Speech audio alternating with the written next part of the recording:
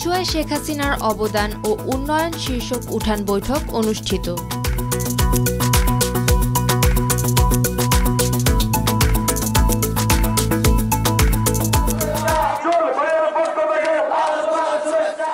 চাঁদপুরের কচুয়ায় দেশের উন্নয়ন, মানুষের ভাগ্য পরিবর্তন ও শেখ হাসিনার উন্নয়ন অবদান শীর্ষক উঠান বৈঠক অনুষ্ঠিত হয়েছে। শনিবার বিকেলে উপজেলার ডুমুরিয়া, গাউসিয়া, সোভানিয়া, আলিম মাদ্রাসা মাঠে স্থানীয় আওয়ামী লীগের উদ্যোগে এ উঠান বৈঠক অনুষ্ঠিত হয়।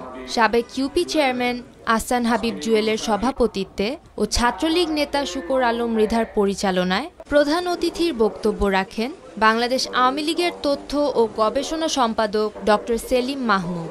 এ সময় উপজেলা আওয়ামী লীগের সাধারণ সম্পাদক Sohrab Hossain Chowdhury Sohag, vice chairman Mahbub Alam, Awami League নেতা জিয়াউর রহমান হাতেম মোখলেসুর রহমান, উপজেলা যুবলীগের যুগ্ম সাধারণ সম্পাদক ডাক্তার মাসুদুর রহমান, ছাত্রলীগ নেতা আলমগীর হোসেন সহ আরও অনেকে উপস্থিত ছিলেন।